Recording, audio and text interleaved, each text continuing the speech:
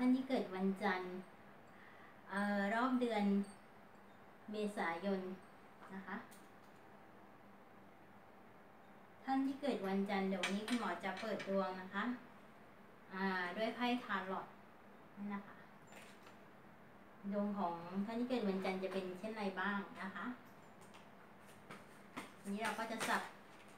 สับกันสดๆเลยนะคะ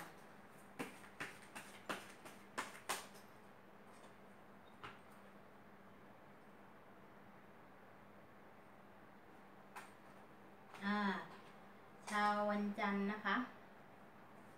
ช วันเนี่ย ต้นเดือนนะคะ วันที่หนึ่งถึงวันที่สิบนะคะชาววันจันทร์เนี่ย คือจากหน้าไพ่ในชาววันจันทร์นะคะ ก็ต้องมีการนะคะเดินทาง ท่านที่เกิดวันจันทร์นะคะ มีโอกาสเดินทางไกลนะคะ ออกต่างจังหวัดอย่างเงี้ยนะคะ สำหรับชาววันจันทร์นะคะเดินทางไกลแล้วก็มีโอกาสโยกย้ายนะคะย้ายงานหรือว่าเดินทางออกต่างจังหวัดย้ายบ้านเปลี่ยนแปลงที่อยู่อาศัยไว้ในช่วงของวันที่หนึ่งถึงวันที่สิบนะคะแต่การงานของชาววันจันทร์เนี่ยคือท่านค่อนข้างที่จะเหนื่อยนิดนึงนะคะ คือต้องรับผิดชอบแล้วก็แบกภาระเยอะสำหรับชาววันจันทร์นะคะ ก็ ตัวเนี้ยสุขภาพเนี่ยชาววันจันทร์เนี่ยสุขภาพนี่ไม่ค่อยดีนะ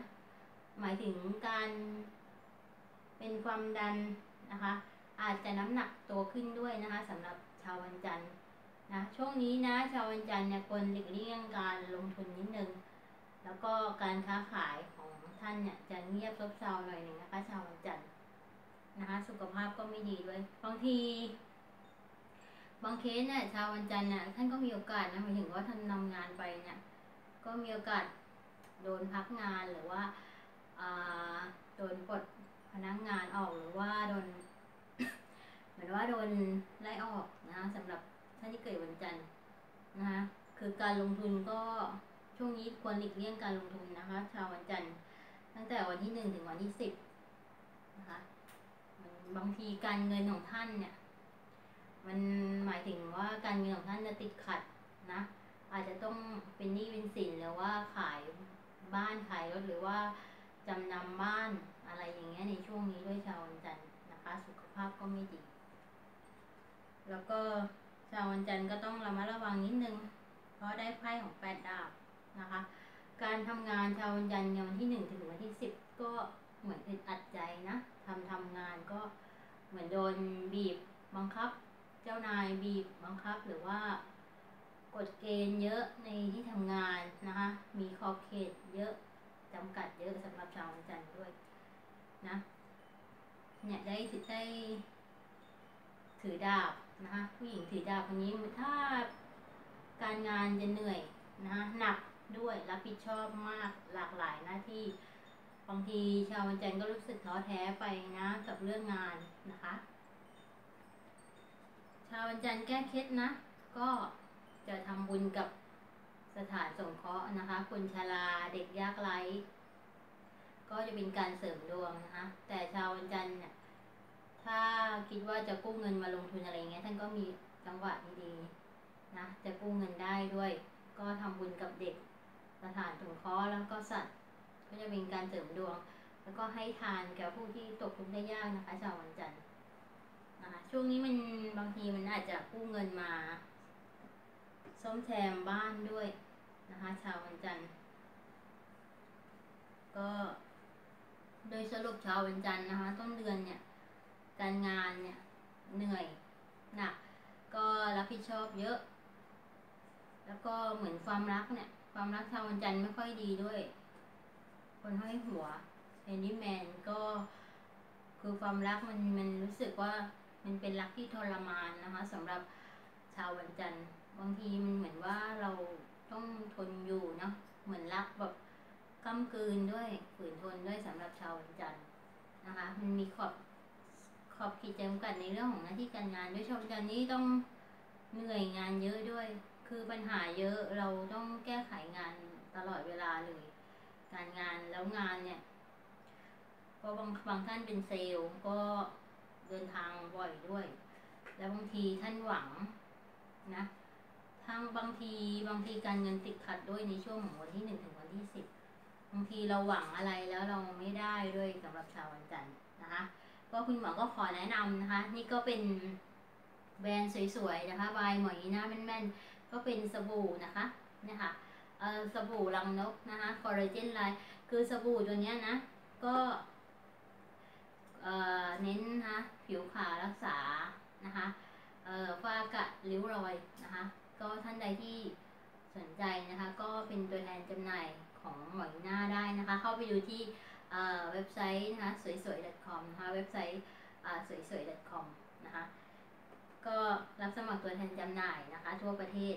นะคะ ก็ทีนี้นะคะ ก็ต่อำหรับชาววันจันทร์ในช่วงของวันที่สิบเอ็ดนะคะหนึ่งถึงสิบไปแล้วสิบเอ็ดสิบเอ็ดถึงยี่สิบสิบเอ็ดถึงวันที่ยี่สิบนะคะ ชาววันจันทร์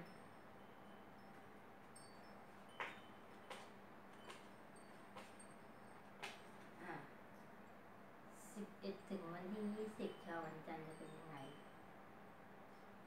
นะคะ คือแบบว่า เด็กถือดาบเนี่ย บางทีวันที่ชาววันจันทร์เนี่ย วันที่สิบเอ็ดถึงยี่สิบก็ต้องระมัดระวังนะ เด็กจะสร้างปัญหาความเดือดร้อนให้กับสำหรับชาววันจันทร์แล้วว่าอาจจะมีค่าใช้จ่ายเกี่ยวกับบุตรลูกนะคะบริวารก็ได้ สำหรับชาววันจันทร์แต่ว่า ชาววันจันทร์ใครที่รองานไว้เนี่ยท่านจะได้งานทำนะชาววันจันทร์นะคะมันเป็นการเริ่มต้นอาจจะมีการเริ่มต้นลงทุนทำธุรกิจด้วยชาววันจันทร์อาจจะกู้เงินมาหมุนเงินมาทำธุรกิจการค้าขายด้วยสำหรับชาววันจันทร์นะคะ มีสิ่งดีๆเราคอยชาววันจันทร์อยู่ด้วยนะ แต่ว่าความรัก ความรักเนี่ยมันเหมือนว่าชาววันจันทร์มันมีโอกาสแยกทางกัน หรือว่าแยกกันอยู่สักพักหนึ่งด้วยในช่วงเดือนนี้นะคะ เหนื่อยเหนื่อยๆด้วย อาจจะคิดมากนะคะชาววันจันทร์อาจจะคิดมาก คิดถึงอดีตคิดถึงเรื่องราวเก่าๆก็ได้สำหรับชาววันจันทร์บางทีการงานก็หนักบางที คือาท่านท่านจะลงทุนในช่วงของกลางเดือนเนี่ย เป็นก็เป็นจังหวะที่ดีนะสำหรับชาววันจันทร์ถ้าใครที่ว่าจะลงทุนขยับขยายการค้าอะไรนั้นนี่จะดีขึ้นนะคะก็ถือว่าเออช่วงเนี้ยชาววันจันทร์ก็มีน้ำหนักตัวขึ้นถ้าเป็นสุภาพสตรีนะคะก็ควรจะไปออกกำลังกายนิดนึงแล้วก็มีชาววันจันทร์เนี่ย ถ้าเป็นผู้หญิงนะก็จะมีการไปเล่นโยคะออกกำลังกายด้วยนะคะการเงิน ต้นเดือนไม่ดีแต่ว่าชาววันจันทร์พอกลางเดือนไปแล้วเนี่ย ท่านก็สถานการณ์การเงินของท่านก็จะดีขึ้นนะคะสำหรับชาววันจันทร์นะคะ ก็คุณหมอก็ขอฝากนะคะอ่าเป็นผลิตภัณฑ์แบรนด์สวยๆบายหมอยน้าแม่นๆนะคะ เข้าไปดูที่เว็บไซต์สวยๆ .com นะคะ เป็นภาษาไทย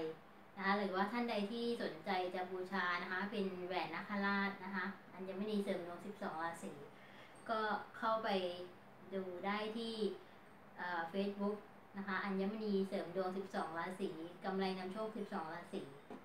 นะคะ ก็จะมีให้ลูกค้าปลุกเสกแล้วทีนี้ชาววันจันทร์เนี่ย พอประมาณปลายเดือน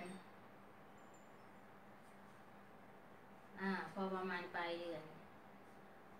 อาจจะต้องระมัดระวังนิดนึงนะ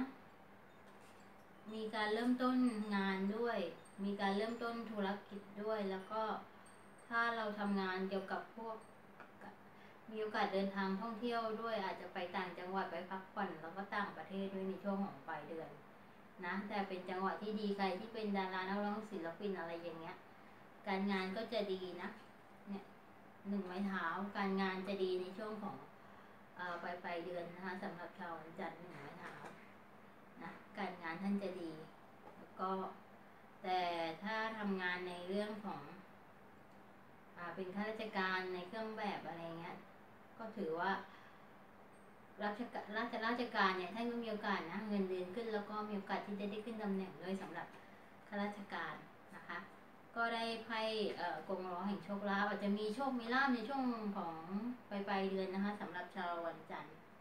นะคะ ก็มีโอกาสจะซื้อที่ซื้อทางอะไรอย่างเงี้ยหรือ มันชงมันเช่าก็น่าจะดีนะมีโอกาสมีโชคมีลาภการลงทุนการค้าขายชาววันจันทร์เนี่ย ถือว่าน่าจะดีในช่วงของปลายปลายๆเดือนด้วยแต่ว่าสุขภาพเดย์เดทขึ้นนะคะไพ่ทาโร่ก็สุขภาพนี่คนเรามาระวังนิดนึงชาววันจันทร์ก็ไปหาหมอนะคะ อาจจะต้องมีค่าใช้จ่ายในการต่อประกันชีวิตก็ได้หรือว่า เอ่อ ญาติผู้ใหญ่เจ็บไข้ได้ป่วยไม่สบายก็ได้ในช่วงของปลายปลายเดือนนะคะ ก็คุณหมอก็ฝากติดตามผลงานด้วยนะคะ